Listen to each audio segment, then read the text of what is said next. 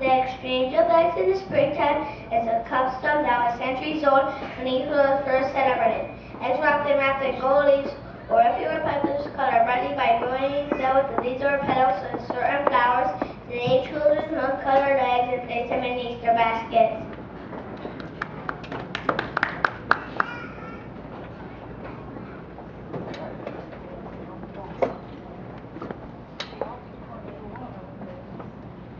Little Easter eggs joy